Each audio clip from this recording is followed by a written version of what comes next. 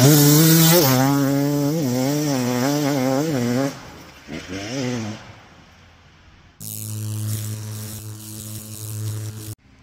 everyone, how's it going? Rob here, MotoLabDirtBikes.com. Quick tech tip for you and something that I check very often. Let's see if you, if you guys could spot the problem. One of those things doesn't look like the other.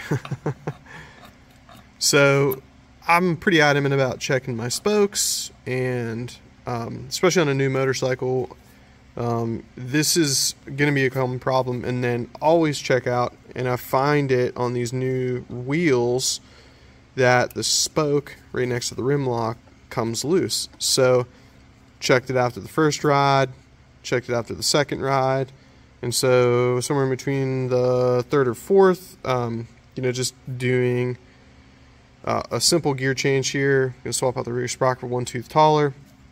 That I found this was extremely loose. So yeah, just keep an eye out, uh, especially on those new bikes until they get set in and then you get your torque all even out and it should be good to go.